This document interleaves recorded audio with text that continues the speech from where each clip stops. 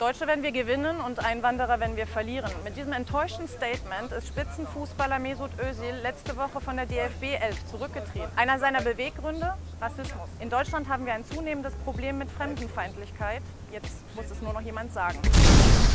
Alles begann mit einem Foto. Vor zwei Monaten hatte sich Özil zusammen mit dem türkischen Präsidenten Erdogan in Wahlkampfzeiten ablichten lassen. Das war zugegebenermaßen ziemlich ungeschickt. Aber jetzt mal im Ernst. Macht das Foto des türkischstämmigen Özil ihn zu einem schlechteren Fußballspieler? Oder noch besser, macht es ihn zu einem schlechteren Deutschen? Die öffentliche Ächtung ist ziemlich heuchlerisch. Macht man doch auch hierzulande ganz gerne Geschäfte mit den Türken. 2016 beispielsweise hat man die komplette Flüchtlingspolitik an die Türkei weitergereicht. Und auch hierzulande und anderswo in Europa Europa lassen sich Politiker oder Persönlichkeiten aus der Kultur gern mal mit zwielichtigen Politikern ablichten, ohne dass ihnen danach direkt die Staatsbürgerschaft strittig gemacht wird. Viele Stimmen wurden nach dem englischen Tweet von Özil laut. Es sei ein fatales Signal an die Menschen mit Migrationshintergrund in Deutschland, sagte zum Beispiel Grünen-Chef Robert Habeck. Und diese unterschwellige Fremdenfeindlichkeit hat von Rassismusforschern bereits sogar einen Namen bekommen, der Özil-Effekt. Die Frage ist, wie sind wir denn in diesem Schlamassel gelandet? 2006 zur WM haben wir doch noch ein deutsches Sommermärchen gefeiert. Hat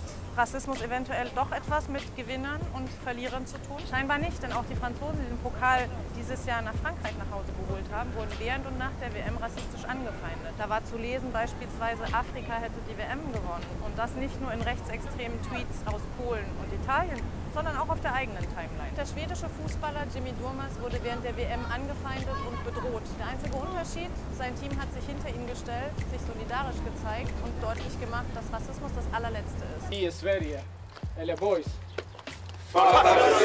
Aktionen wie die aus Schweden sind aber leider relativ selten. In Deutschland hat sich jetzt der DFB-Chef doch noch durchgerungen zu einem Statement, aber ansonsten gilt eher flächendeckendes Schweigen. Nur die sowieso immer lauten von rechts bringen die immer gleichen Hassparolen. Steve Bannon.